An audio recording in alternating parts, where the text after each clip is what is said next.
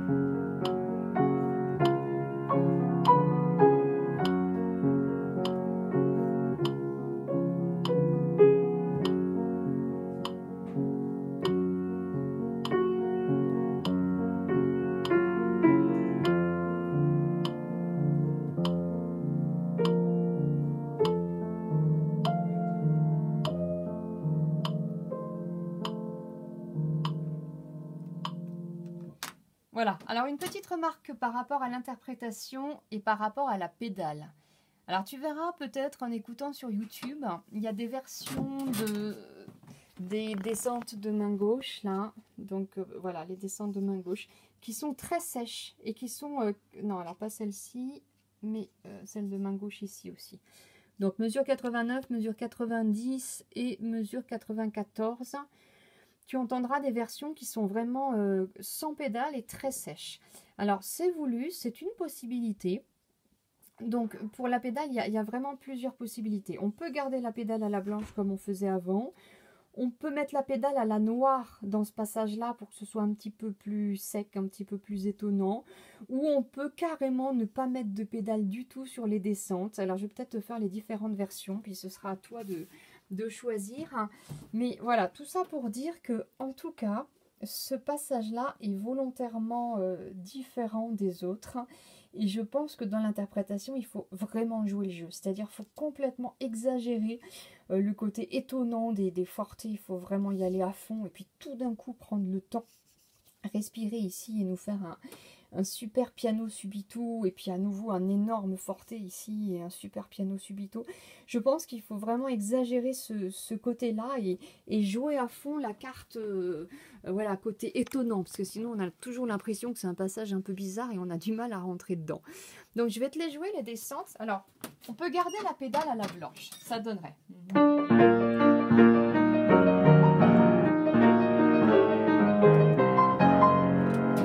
D'ailleurs, excuse-moi, je m'aperçois que j'ai fait une bêtise. Donc quand je dis à la blanche, c'est possible dans la première mesure, c'est pas possible dans la deuxième, parce que de toute façon, là, on change de note. Donc voilà, au pire, ce serait comme ça. Il faudrait changer la... Excuse-moi. Il faudrait changer la pédale à la noire ici. Alors, on va essayer une autre chose. Maintenant, je te la change à la noire tout le temps. Ce qui, à mon avis, est déjà mieux. Donc, on va essayer de rajouter ça. Et voilà ce que ça donne. Puis après, tu essaieras. Puis c'est toi, avec ton oreille, qui, qui choisira ce que tu préfères. Donc là, je la change toutes les noires. Donc, pédale, pédale, pédale, pédale, pédale, pédale, pédale. Voilà, ça donnerait ça. Ou on peut faire la version carrément pédale à la noire, pédale à la noire, et ensuite pas de pédale sur les troisième et quatrième temps. Et à nouveau pédale sur le premier, pédale sur le second, et pas de pédale sur les troisième et quatrième temps. Ce qui donnerait...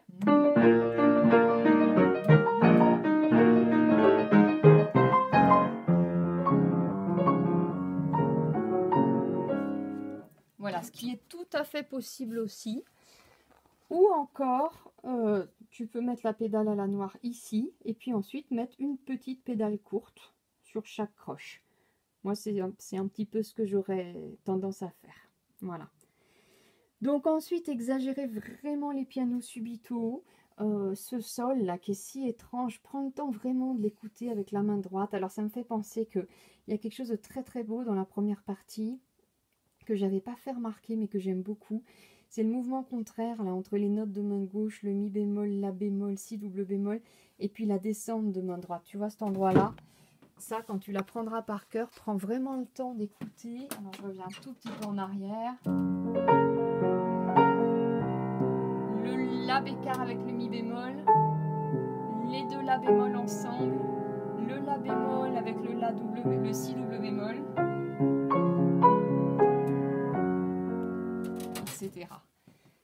Donc voilà, de même quand tu arrives à la mesure 91, euh, donc prends vraiment le temps d'écouter ce, sol vraiment étrange. Euh, alors on a repéré dans la main gauche, mais repère vraiment bien quand tu joues mains ensemble que quand tu joues le troisième temps de la main droite, ça tombe sur la note liée de main gauche, tandis que dans la mesure suivante, quand tu joues le, troisième temps de la main droite, ça tombe sur le La bémol. Donc ça, tu peux le faire euh, ressortir vraiment. Euh, joue forte jusqu'au bout. Tu peux presque faire un crescendo comme si tu arrivais fortissimo et tout d'un coup, voilà, respirer, changer complètement de caractère pour jouer le piano, faire, faire euh, ressortir ce sol bécard, prendre le temps d'écouter vraiment cette, main gauche qui est étrange. Et puis après, alors pareil, un crescendo euh, vraiment forté, ça tu peux, tu peux vraiment l'exagérer. Alors tu as vu le doigté que j'ai mis sur la, la main gauche là pour que ce soit plus simple? Donc moi je fais ça. Alors là tu mets ce que tu veux, mais ensuite pouce de 5. C'est très pratique pour le Do, euh, si W bémol Do. Voilà, puis à nouveau, bah, prends, prends le temps de faire ressortir euh, toutes, les, toutes les petites subtilités de la main gauche. Et encore plus quand tu arrives ici. Alors ça c'est super beau là quand on a ce, ce Ré double bémol. Prends le temps vraiment ressortir cette note-là.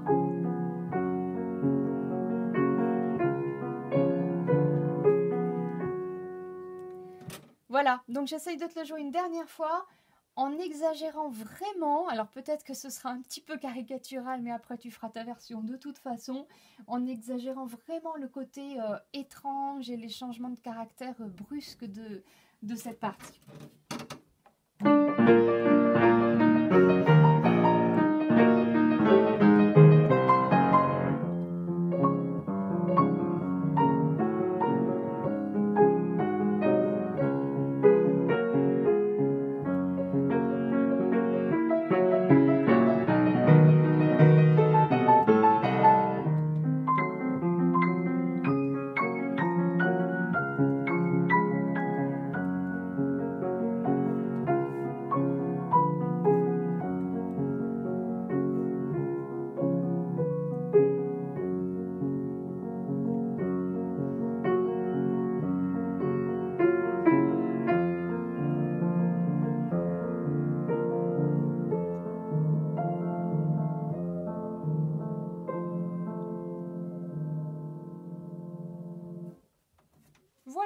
Eh bien, écoute, maintenant, tu peux te faire plaisir en écoutant euh, de très belles interprétations de cette variation, évidemment en l'apprenant par cœur.